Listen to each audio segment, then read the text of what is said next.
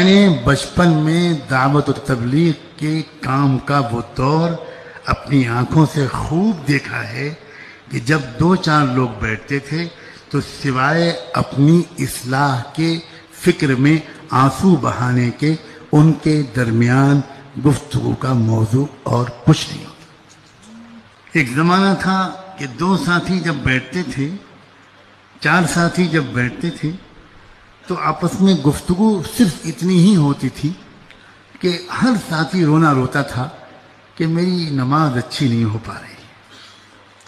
तीन साल हो गए, मैंने हर साल का चिल्ला भी लगाया, मैंने महीने का से रोज़ा भी लगाया, मैं गश भी करता हूँ, मगर मेरी नमाज़ नहीं बन पा रही। मैं क्या करूँ?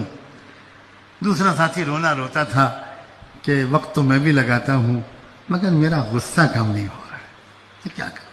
मेरे अखलाक अच्छे नहीं। फिर एक दौर आया,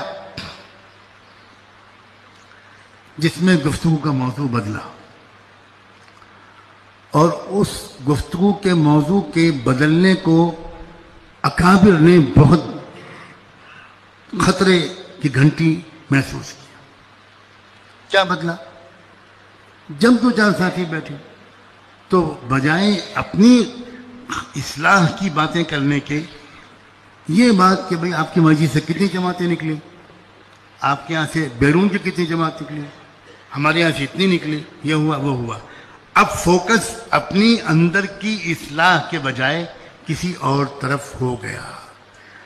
लोग इसको समझते रहे काम की तरक्की और चोटी के मशाइ और दावत के बसियत रखने वाले लोग, ये महसूस करते रहे कि गाड़ी पटरी से हट रही है। अब अपनी इसलाह की फ़िक्र के बजाय एक तहरीक की शक्ल इख्तियार कर रही है।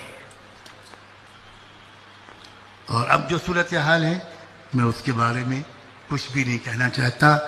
अल्लाह की पनाह, अल्लाह की पनाह, अल्लाह की पनाह। अब अपना इसलाह का मसला है, न जमातों का मसला है। अब ये कि आप किस पार्टी के हो आप किस पार्टी इन्ना लिल्लाही